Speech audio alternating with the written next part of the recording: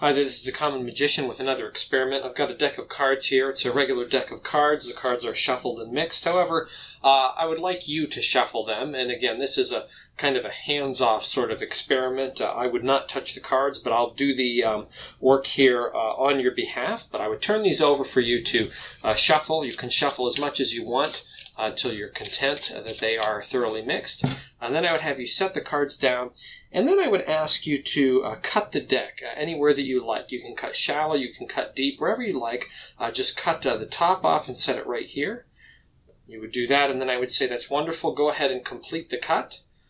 Uh, and this would all be done by you. This would be uh, hands off. The performer would not touch the cards. This is just something uh, that uh, you, as the spectator, would do. And then I would ask you a simple question. Um, I'm wondering if there happens to be any card that you might be thinking of, any card that you might be uh, thinking of in your mind, um, just the first card that pops into your head. You might say something like the Ace of Spades or something like that. Uh, and I would say that's interesting. That's very interesting. You would think the Ace of Spades. I was thinking of something different, um, uh, but I was thinking of another common card. Uh, in fact, the card that I'm thinking of right now, I actually carry with me all the time. Uh, in my wallet, uh, you would see here that I have one card, just one card on me, just that one right there. It's the only one that I have in my wallet. Uh, this one, Queen of Hearts. It's a very popular, well-known card. Uh, and uh, I don't know why I carry it, but I just carry it around with me. And this is very interesting to me because I'm curious to see what you cut to. Now, I just want to remind you that you shuffled the deck. Um, you handled the deck. I did not. You cut the deck. I did not do it. You did it. Uh, go ahead and turn that card over and set it right here. And you would turn that card over to reveal that you indeed cut and shuffled to the Queen of Hearts. From Expert at the Card Table, there is a section in here. This is a public domain uh, book, public domain text. You can download this for free in ebook or PDF format, or you can purchase uh, one of the many publications of the book that are out there. Uh, there is a section uh, called indicating to indicate the location for the cut. To indicate the location for the cut. And uh, one of the first subheadings is this is located by the crimp. Okay, this is located by the crimp.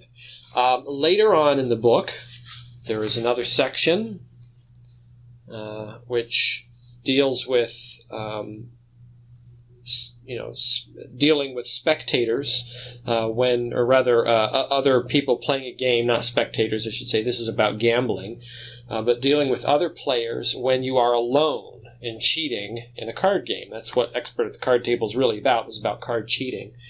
Um, and there's a section here uh, de- when you're dealing alone. Uh, it's called Crimping for the Cut. Crimping for the cut. And what it says here is the probability of the unsuspecting player cutting into a crimp is always kept in view. Okay, the probability of the of the unsuspecting player cutting into a crimp is always kept in view. Now, I wanted to take a moment there to uh, look at a public domain text like uh, Expert at the Card Table uh, and, and, just to look at those couple of locations in there talking about uh, a topic that we're going to deal with now just because I don't want to be accused of outing marketed effects. There are a, number of marketed effects. One in particular I'm thinking out. I don't want to name it because I do want to be fair. Um, but uh, there is one out there that does a very similar thing to what, what we're doing here. And it very well may operate on this principle. I do not know for sure, um, but it may do this. Uh, the reveal in that effect uh, deals with a cell phone rather than a wallet. Uh, I'm sure that you can search that out and find it. Um, this is my take on a very similar uh, effect, a similar outcome, uh, with a couple of nuanced differences here that we're going to talk about that I think can make this performance a little bit better.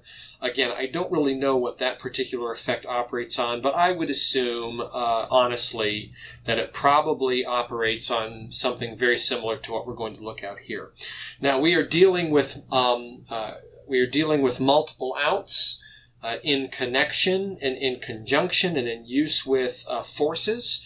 Uh, so, forcing a spectator into a narrow uh, number of outcomes and then having multiple outs, various outs that you can uh, trace down and follow down once a, a, force has been made uh, to complete the effect. And the benefit of doing this is that it's very difficult for a spectator to follow back when there's multiple outs to a force because they feel that they have real free control and choice over the matter. So um, I'm going to, though, put a couple of layers on this effect that can really plus one it. We can really make this a whole lot more powerful if you get lucky. Um, there is a little bit of chance in here that you can get very lucky and have what we call a perfect outcome, uh, and that's going to be one topic of discussion: is the perfect outcome in a magic trick or in, a, in a, an experiment, in an illusion, a setup. Um, and also, I want to talk about uh, the other side of that, which is the worst outcome. And I just want to show you that the worst outcome does not need to be so bad if you plan for it. If you plan for the, you know, the um, the scenario in which things don't pan out, you can still deal uh, with your your setup and still make it work and still pull off uh, a wonder of amazement for people to um, to take awe in. So let's take a look at what's going on here. I have a regular deck of cards uh, with one exception. There's four cards here, and you can actually you can use more cards than this if you want to. The higher the probability and the more outs that you have, um, the better. Rather, the better the probability this gets. Uh, if you have several outs, uh, more than four, uh, you know, as we're using here, then your probability is even higher uh, that you'll get a hit, as we uh, we'll discuss in a moment. I'm using four force cards, and I'm using these force cards. And I want to talk briefly about why these four cards. You can use any cards you want, but in order to get an extra layer on this, I decided to use these. And I would refer you to a very recent uh, Scam Nation episode, that is Brian Brushwood's YouTube channel, uh, where they revisit uh, Scam School episodes and look at new ideas even now. Um, and one of the ones that they, they did recently, he was talking about a 10 year experiment that was kind of unwitting. Uh, they did not intend to do this, but they came up with a 52 out card trick in which uh, a card could be thought of, and then there were 52 pre recorded videos that uh, the spectator could be uh, directed to, one of those, and uh, there would be kind of this impossibility that there would be this video recorded that would predict the card that they were thinking of. Um, and in the process of, of doing this over 10 years, they discovered that they had a record of which cards were chosen and how frequently they were chosen. And they discovered that over a course of 10 years, the Ace of Spades was chosen most commonly, the Queen of Hearts was second, the Ace of Hearts was third, and the Ace of Diamonds was fourth. And there's some after that. They actually have the full list of all 52 cards and where they ranked, but these were the top four. And I thought, well, that would be interesting if you use these as the force cards uh, you could potentially put a thought of card layer to this and have a perfect outcome. Now, in addition to having these cards, uh, I have them marked. So each card is marked by what it is. I'm not going to talk about the markings, just know that they are marked and you can mark the cards any way you want. If you're just using four force cards, you can just put a, a particular spot on each one to note that it is the identity of, you know, the, the card in that particular order. Um, uh, I have these marked actually for number and suit. Uh, the whole deck is not marked, but just these cards in this case. So I have marked cards. These are the force cards. Uh, and then I have one more um, aspect of these cards that we have to discuss, and that gets to uh, the expert at the card table uh, sections that we looked at, and that is the use of crimps. These cards are crimped, uh, and these are breather crimps. There is a little divot that is placed in each one uh, right in the center so that it has sort of a convex, uh, a concave, I should say, image on the center and a convex image on the back. Uh, and uh, as they sit, if they were to sit on their back on a flat surface, these cards would spin fairly freely uh, with that uh, little impression on that. So let's take a look at how we're going to use this. So the setup would work like this. We would take our four uh, force cards. Again, you could have more as long as you have an out uh, designated to each one of these cards. We'll talk about that in a moment, uh, but you need to have an out for each one. Uh, and what we want to do is I would recommend that you space them out in the deck such that the more likely ones that people would think about, probably the Ace of Spades, the Queen of Hearts, are more central um, in the deck. So you want to space them out evenly, but I would put probably the Ace of Spades uh, in the middle and uh, a little bit off center, and then the Queen of Hearts about, I don't know, one fifth away off center. Then I would put uh, the Ace of Hearts probably closer to the top. I think people are more likely to cut shallow than cut deep, and then the Ace of Diamonds in the bottom. Now, ultimately, when they go to shuffle, this order is going to get mixed. Um, but when people shuffle, particularly overhand, um, they really end up just kind of reversing the order of cards in, in packets rather than really mixing them.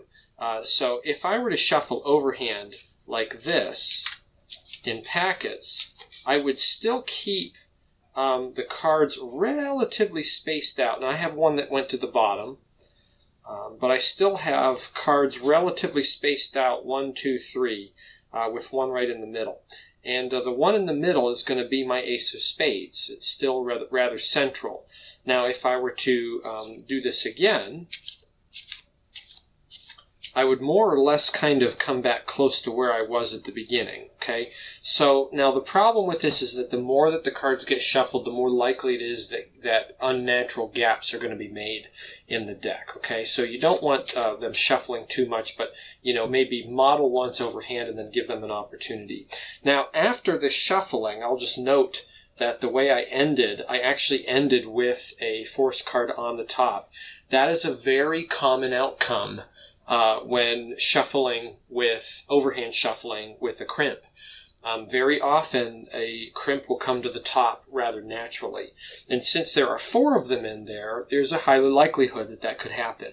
So when they're done shuffling and they set the deck down, you'll note your markings. And if there is a crimp card on the top, you don't need to really go any further in terms of procedure. You can just leave the situation just like that.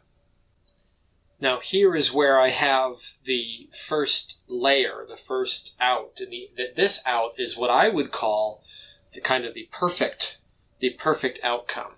Um, this particular outcome is where you ask them to think of a card, and there's the off chance that they might be thinking of because you have four popular cards in here.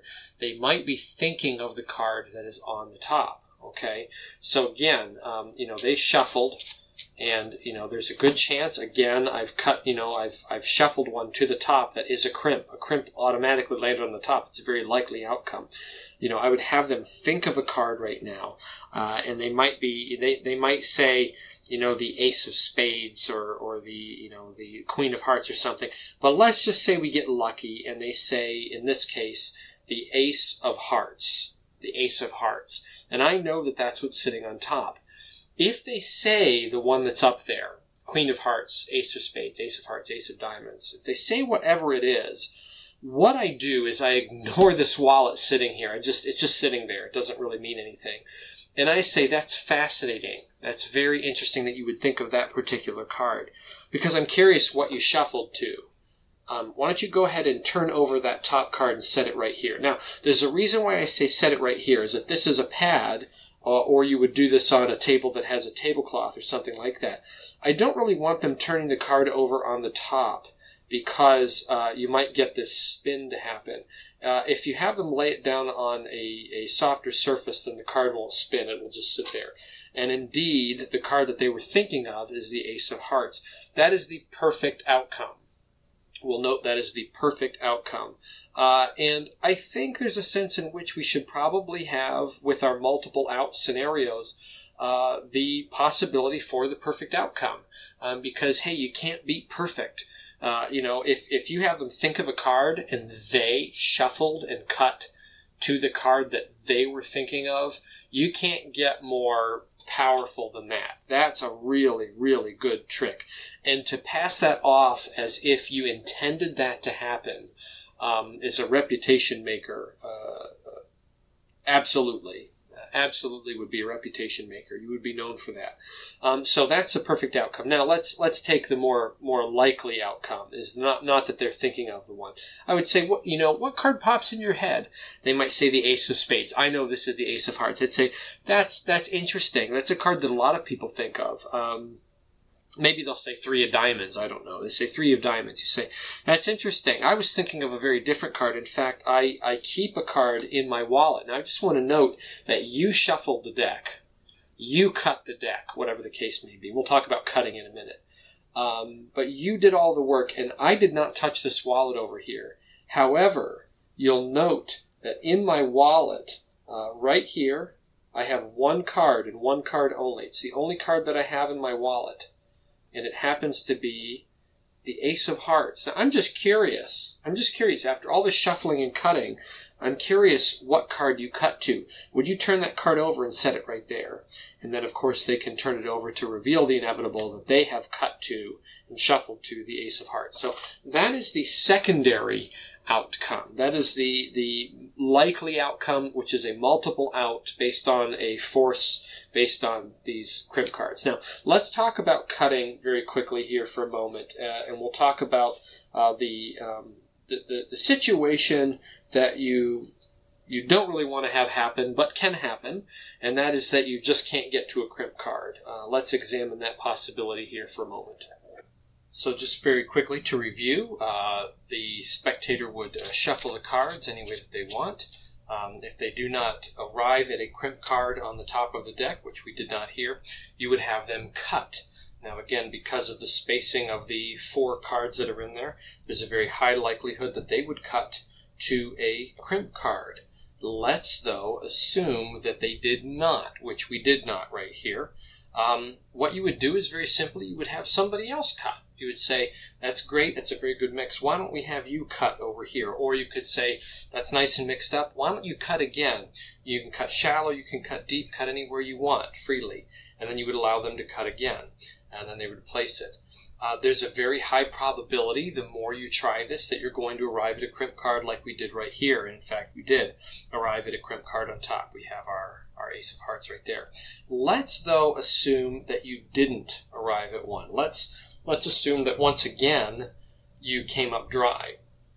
So that's two cuts and you came up dry. You have a couple of options. You could have someone else cut again, uh, or you can just kind of take control of the situation. Personally, I think if you have two cuts happen uh, and you come up empty, it's probably a good idea to just take control of this and, and convert to a different trick, really, a different kind of presentation. Uh, and really, all you need to do is get your hands on the deck and get rid of the idea that um, they are going to do everything by themselves. Uh, you can just reiterate the fact that they shuffled the cards, they cut the cards twice. There's no way that you could know what the order of the cards are. This deck is a thoroughly shuffled deck, um, and it has been properly prepared. And then you continue with the different feat. You say, Now I just want to try something here. I found that when I cut the deck, um, I can usually cut to the card that I'm thinking of. And you would say at this point whatever the card is. So um, it's very easy to cut to a crimp card, especially when you have many of them. It's very easy to do it uh, as the performer because they have a certain feel to them. Um, and again, I did I did hit a crimp card right here. Um, the, it's simple the way it works. All you need to do, let me get to a, a place where there is none. All you need to do, I'll show you kind of from the side here, is lift up on the deck and give a drop, and wherever it seems to want to drop very freely, right, that is going to be a spot where there's a crimp. Um, so you lift up kind of the whole thing, and then just let, release a little bit, and it will it will almost always cut to a crimped spot. So you can almost find all of them in there uh, if you really wanted to, right? So there's one. There's two. And I don't know if we'll hit them all. It's it's a little bit of a, a knack there, but I think we're going to do it. At least hit three of them. I don't know. There might be one more left up here. And uh, I think we missed on that one. That's not a crimp card, but we hit three out of out of four there. So you know you can you if you get through two cuts, if there's nothing there, um, probably the best thing to do is turn it into a different trick rather than a hands-off trick. This is going to be a skill trick. You you know, or at least the impression of some sort of skill. You can say you shuffled the deck; it's it's all mixed up thoroughly. I have found that from a shuffled deck, kind of like Maverick, right? The the TV character, um, you know, the movie character who who uh, wanted to be able to cut to an ace of spades at will from a shuffled deck. Um, you know, you have that ability that you're able to cut to uh, a card that you're thinking of. Uh, then you can cut to that location, and then you can call it out. You might even say, you might even pick up on your perfect out at this point and say, now, are you thinking of a card? Is there any card that you're thinking of? What card pops into your head? Right? And they might say whatever it is. And uh, if they don't, then you can obviously uh, go on and present. They might say Queen of Hearts you know, they might say Queen of Hearts or whatever the case may be, uh, and it, you know it is the Queen of Hearts. They might say you know the Ace of Diamonds or whatever the case may be. It doesn't matter if they call it right, then go with that. If they don't say that's interesting because I was actually thinking of another card. Not only that, but I carry that card in my wallet. Um, and it just so happens to be this. So you can even use your wallet out if you want to um, at that point. Uh, for I think this one here is Ace of Diamonds, right? So you could you could do that. Um, that is what you do when things aren't working out. You just take control. You turn it into a different trick, uh, and you use your knowledge of crimp cutting to cut to a crimp. Okay, you don't have to rely on their unwitting uh, tendency to hit it, you can just hit it yourself. Uh, it's actually very easy to cut into crimp cards when you know that they're in there. You just lift up, release, and wherever it wants to break, that's where you're going to hit it. Okay. Um, let's talk very quickly about the multiple outs. Uh, we have four cards in here uh, that resemble these other cards. It doesn't have to be the same brand. Is a different brand of, of card. But what I did is I put, um, I have a divider in my wallet. I put one card on this side of the cash on this side, and then I did the same thing on this side of the the other side of the divide. There's a, a another one, so Ace of Spades, Queen of Hearts. These are the top two, and then on this side I put the uh, next two cards on the other side of the cash on either side of the divide. That way, what I can do is whenever I go for my card, I can fairly realistically make it look empty by just about any angle because the cash either hides the card or the divide hides the other cards, uh, and it can look fairly uh, fairly authentic whenever I take that card out. In general, you don't want to be flashing the the wallet anyway. You want to take it out in such a way that you're hiding things. Um, but if if that is seen, uh, you should be fairly clean uh, by organizing in this way. Alternatively, you could just keep them inside of pockets and be really really safe if you keep them in places where uh, you know that nothing else is going to flash. Um, but that is the multiple outs with the concept of a perfect uh, ending, a perfect outcome uh, where they think of a popular card and you happen to hit it uh, and also um, a contingency for when things don't go quite right. You can just kind of take control of the situation and uh, do it yourself. Uh, if you want it done right, do it yourself, as they say. So that is the concept here uh, for this trick in this series of uh, forces um, coupled with multiple outs. Uh, I hope you enjoyed this, and I hope that you put it to use. And I wish you the best of luck and happy magicking.